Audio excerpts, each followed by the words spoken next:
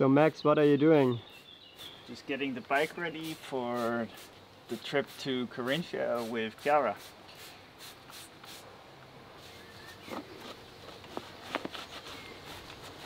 So what's the plan for Carinthia? Uh, we're gonna have a few days of nice gravel rides. Uh, Johnny Hoogerland, ex-pro from the Netherlands is there and he just opened his hotel. So we see what he discovered for gravel riding because he says it's the perfect area. We need to find out.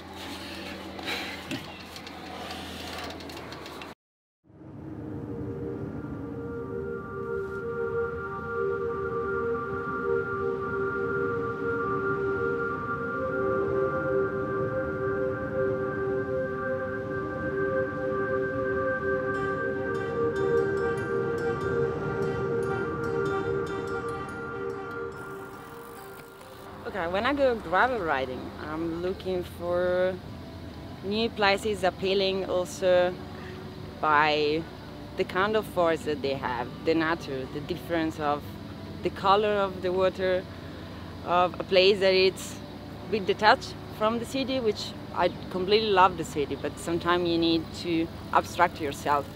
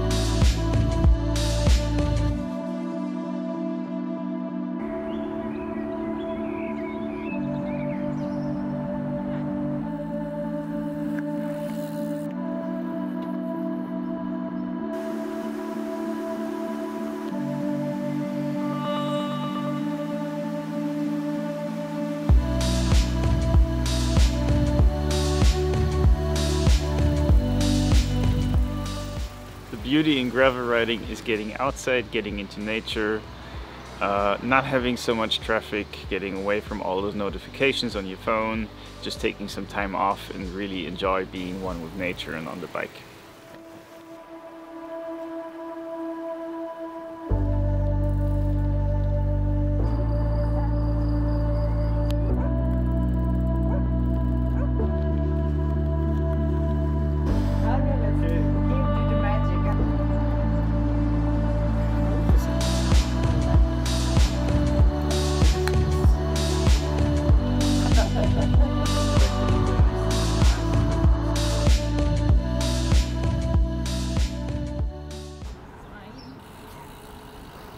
Foot riders. this is not a good dance. Thinking about swimming in the lake.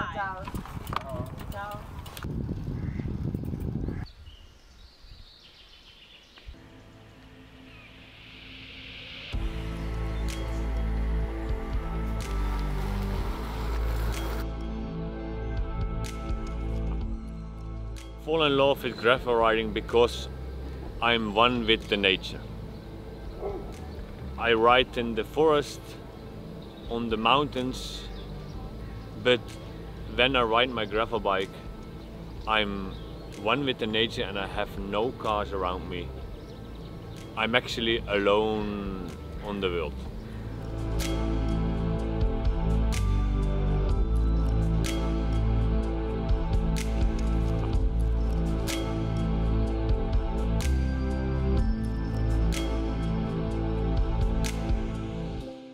For me, the perfect gravel area has everything.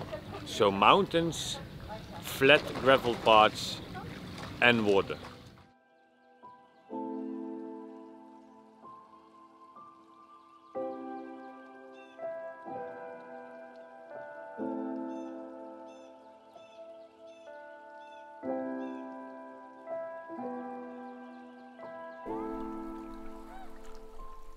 Gravel riding for me was as a illustrator, as a graphic designer, was a way to reach places that could be um, inspiring for what I do.